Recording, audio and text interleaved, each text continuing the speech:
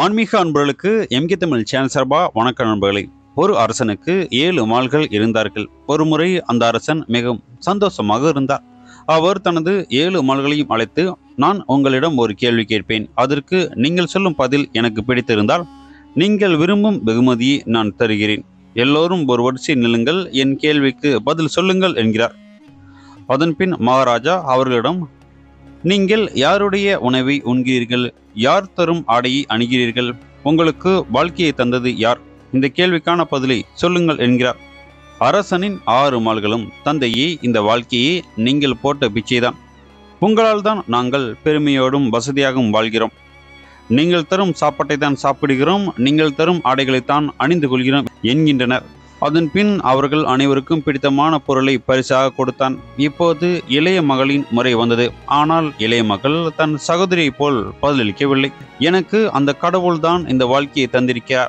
அந்த ஈஸ்வரன் தான் தினமும் எனக்கு வேண்டிய உணவை தருகிறார். இப்போது நான் அனுபவிக்கும் சுக துக்கங்களுக்கு அந்த இறைவனி காரணம் என்கிறார். இதை கேட்ட மன்னன் ஆத்திரமடைந்தான். நீ என்னை அவமதித்து விட்டாய் இதற்காக நீ கண்டிப்பாக தண்டிக்கப்படுவாய் என்கிறார். அதன் பின் அரசன் படை வீரர்களை அழைத்து இந்த இளவரசியை காட்டில் விடும்படி கட்டளையிட்டான். எனது துணை இல்லாமல் எனது தயவு இல்லாமல் அந்த கடவுளின் அருளால் எப்படி நீ வாழப் போகிறாய் என்று பார்க்கிறேன் என்று கோபமாக பேசினான். தந்தை தனக்களித்த தண்டனையை மகிழ்ச்சியோடு ஏற்றுக்கொண்ட இளவரசி தந்தையே அனைத்தும் அந்த இறைவனின் விருப்பப்படிதான் நடக்கிறது என்றபடி காவலாளியோடு காட்டிற்கு செல்கிறார். இளவரசி தனக்கு பிடித்த ஆடைகளை கூட தன்னோடு எடுத்து வரவில்லை. ஒரு துறவியைப் போல அவள் காட்டில் தனியாக விடப்பட்டாள். ஆனால் இப்போதும் இளவரசி தன் முடிவில் தெளிவாக இருந்தாள். கடவுள் இவ்வளவு காலம் எனக்கு ஆடம்பரமான வாழ்க்கையை தந்தார். அஷ்ட ஐஸ்வர்யங்களையும் தந்தார். ஆனால் இப்போது எனக்கு ஒரு சோதனை காலம். கண்டிப்பாக இந்த சோதனையில் இருந்தும் கடவுள் என்னை காப்பாற்றுவார் என்று தீர்க்கமாக நம்பினாள்.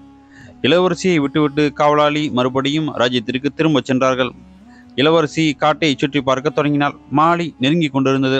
இளவரசி இரவில் நெருப்பு மூட்டினால் காட்டு விலங்குகள் அருகே வராது. இரவு பொழுதையும் எளிதாக கழித்து விடலாம் என்று எண்ணினாள். எனவே அவள் சுள்ளிகளை தேடி காட்டிற்குள் சென்றாள். அப்போது அவள் கண்களுக்கு தூரத்தில் ஒரு குடிசை தெரிந்தது. அந்த குடிசையின் முன் ஒரு ஆடு காட்டப்பட்டிருந்தது. குடிசைக்குள் யாரோ ஒருவர் இரும்புவதைப் போல சத்தம் கேட்டது. இந்த அடர்த்தியான காட்டினுள்ளே யார் இருக்கிறார்கள் என்று இளவரசி ஆச்சரியப்பட்டாள். அவள் குடிசைக்குள் நுழைந்ததும் ஒரு முதியவர் கட்டிலில் படித்திருப்பதை பார்க்கிறார். அவர் படுத்தபடி தண்ணீர் வேண்டும் என்று கேட்கிறார். இளவரசி சுற்றி பார்த்து மூலையில் தண்ணீர் குடம் வைக்கப்பட்டிருப்பதை பார்க்கிறார். அவள் ஒரு கிளாஸில் தண்ணீரை நிரப்பி வயதான நபருக்கு குடிக்க தண்ணீர் கொடுத்தார். அதன் பின் குடிசி சுத்தம் செய்கிறார். இதற்கிடையே அந்த முதியவர் இளவரசியை பார்த்து மகளி நீ யார்? இவ்வளவு பெரிய காட்டில் தனியாக என்ன செய்கிறாய்? என்று கேட்டார். அதன்பின் இளவரசி இங்கு எப்படி வந்தேன்? என்று தன் கதை முழுவதும் கூறுகிறார் மகளே நான் அருகே இருக்கும் நகரத்தில்தான் வேலை செய்கிறேன். நான் காலையில் வேலைக்கு சென்றால் திரும்பி வர எட்டு நாட்கள் வரை ஆகும் அதுவரை நீ இந்த குடிசையில் தாராளமாக தங்கலாம். இந்த குடிசையில் தேவையான உணவுப் பொருட்கள் இருக்கிறது. அருகே நதி ஓடுகிறது. நீ தாராளமாக தினசரி உணவை சமைத்து சாப்பிடலாம். இங்கு உனக்கு எந்த பயமும் கிடையாது. எனவே நான் திரும்பி வரும் வரை தாராளமாக நீ இந்த குடிசையிலேயே தங்கலாம் என்கிறார்.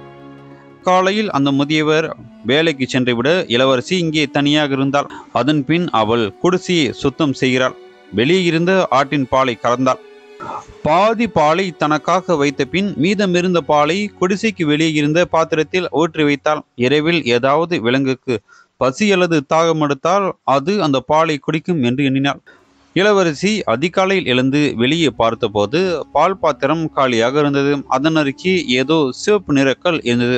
இது பார்ப்பதற்கு மிகவும் அரிதான மற்றும் விலைமதிப்பற்ற கல் போல் தெரிந்தது. அதன் அருகே பாம்பு சென்றதை போன்ற தடையும் இருந்தது. அப்போது இளவரசி தனது குழந்தை பருவத்தில் கேட்ட கதையானது நினைவுக்கு வந்தது.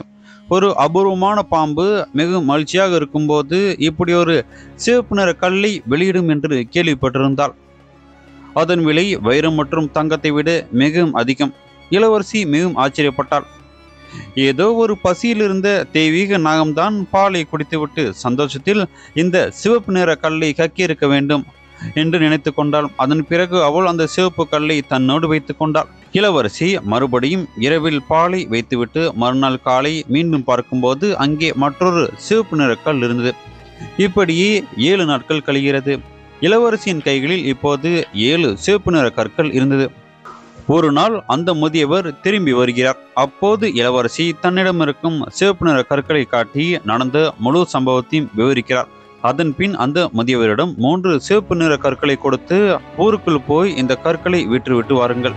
வரும்போது அரண்மனை கட்ட தேவையான தொழிலாளர்களை அழைத்து வாருங்கள் என்று சொல்லிவிட்டு மீதமிருந்த நான்கு சிவப்பு நிற கற்களையும் இளவரசி தன் கழுத்தில் மாலையாக அணிந்து கொண்டாள். இப்படியே சில மாதங்களில் அந்த அடர்ந்த காட்டில் ஒரு ஆடம்பரமான அரண்மனை தயாரானது. இந்த அரண்மனையில் வயதான முதியவரும் அந்த இளவரசியும் வசிக்கத் தொடங்கினர். இந்த அழகான அரண்மனையில் உலகின் அனைத்து வசதிகளும் நிரம்பியிருந்தது.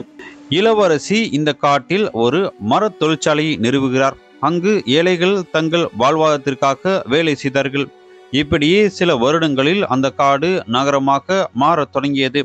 அதன் பின் அந்த இளவரசியின் புகழ் நாலாபுறமும் பரவ ஆரம்பித்தது. இந்த இளவரசி மிகவும் இயற்கை குணம் கொண்டவள் என்ற தகவலானது நாடு முழுதும் பரவலாக அறியப்பட்டது. இந்த செய்தி நாளடைவில் ராஜாவுக்கும் எட்டியது அரசனின் உள்ளத்தில் எவ்வளவு புகழோடு இருக்கும் அந்த நாட்டின் இளவரசி யார் என்பதை அறிந்து கொள்ள ஆவல் எழுந்தது. ராஜா வீரர்களுக்கு செய்தி அனுப்பினார்.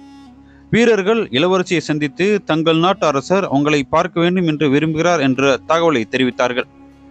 ஒரே ஒரு நிபந்தனையோடு உங்கள் அரசர் தாராளமாக என்னை சந்திக்கலாம். அவர் தன் மால்கள் அனைவரையும் இந்த அரண்மனைக்கு அழைத்து வர வேண்டும் என்கிறார். வீரர்கள் அரசன் இடம் சென்று இந்த செய்தியை கூறுகிறார்கள். அரசர் தன் மால்களோடு இளவரசியின் அரண்மனைக்கு செல்கிறார். இளவரசி முகத்தை மூடிக்கொண்டு அரசனையும் அவனது மால்களையும் அன்பாக வரவேற்றார். அவர்களுக்கு பிடித்தமான உணவுகளை பரிமாறினார். சாப்பிட்ட பின் இளவரசி அந்த பிரம்மாண்டமான அரண்மனையை இவர்களுக்கு சுட்டி காட்டினார் அரண்மனையின் ஆடம்பரம் அழகு மற்றும் இளவரசியின் அன்பான உபசரிப்பு என அனைத்துமே அரசனை நிகழச் செய்தது. இருந்தபோதும் அவருக்கு சிறு வருத்தம் இருந்தது. கடைசியில் அரசன் அந்த இளவரசியிடம் நீ பார்ப்பதற்கு என் மகள் போல்தான் இருக்கிறாய். நான் உனது வேண்டுகோளின்படி என்னால் முடிந்த அனைத்தையும் செய்துவிட்டேன். நான் என் மால்களை என்னோடு இங்கு அழைத்து வந்தேன். நான் உன்னை பார்க்கவே இங்கு வந்திருக்கிறேன். எனவே உனது முகத்தில் முக்காடு அணிய வேண்டிய அவசியம் கிடையாது. தயவு செய்து தங்கள் முகத்தை காட்டலாமே என்று வலியுறுத்தினார். இளவரசி அரசனின் கோரிக்கையை ஏற்று சரி நான் தயாராகி வருகிறேன் என்றபடி அரண்மனைக்குள் ஓடிவிட்டார். அரசனுக்கோ ஒரே குழப்பம் இளவரசி ஏற்கனவே ஆடம்பரமான உடையைத்தான் அணிந்திருக்கிறார். இப்போது வேறு ஏதாவது உடையை அணிந்து கொண்டு வருவாளோ என்று நினைத்தார். அப்போது தூரத்திலிருந்து யாரோ வருவதைப் போல் தெரிந்தது. அருகே வந்ததும் அரசருக்கு அடையாளம் தெரிந்தது. தான் பார்த்து கொண்டிருந்தது வேறு யாரும் கிடையாது. தன் அன்பான இளைய மகள்தான். அன்பு மகளே நீ இன்னும் உயிரோடு தான் இருக்கிறாயா? காட்டு விலங்குகள் உன்னை தின்று விட்டது என்றுதான் நான் நினைத்தேன். உன்னை காட்டிற்கு அனுப்பிய பின் சில மணி நேரம் கழித்து உன்னை பற்றிய தகவலை தெரிந்து கொள்ள நான் வீரர்களை அனுப்பினேன். ஆனால் காட்டில் வந்து பார்த்துவிட்டு நீ இருந்ததற்கான தடயமே இல்லை என்றார்கள் வீரர்கள்.